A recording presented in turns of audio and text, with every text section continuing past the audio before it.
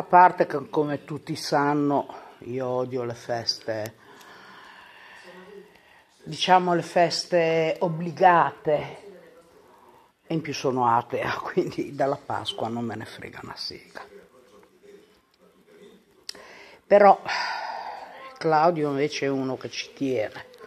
Stamattina però è andato a fare un lavoro, oggi pomeriggio anche, domani pure.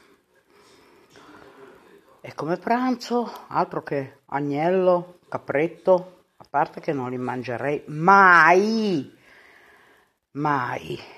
Già mi fa un po' impressione mangiare il coniglio, perché me li ricordo belli vivi, pelosi, eccetera. E,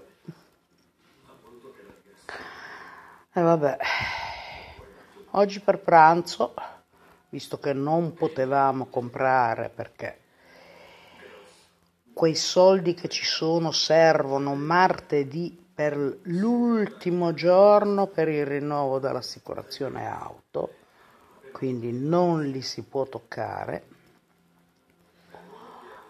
vi dico il pranzo? Allora, io mi sono finita i tortellini in brodo di ieri. E Claudio si è fatto due uova fritte con un po' di gorgonzola sopra.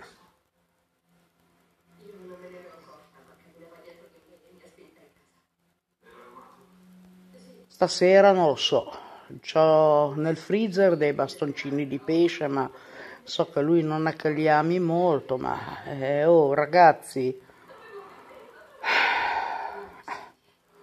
comunque ho avuto il miracolo di Pasqua.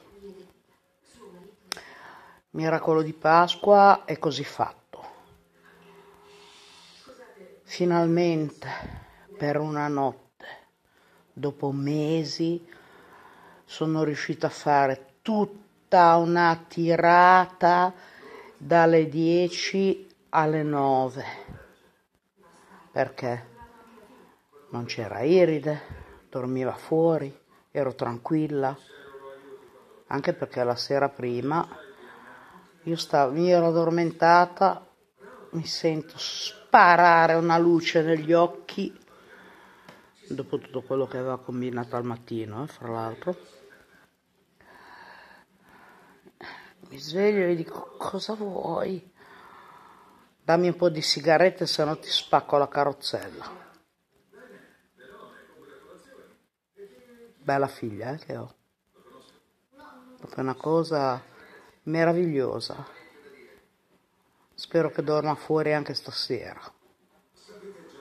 Perché sinceramente io quando c'è lei altro che anti-ansia, antidepressivo. E eh vabbè, comunque, per chi ci crede, buona Pasqua.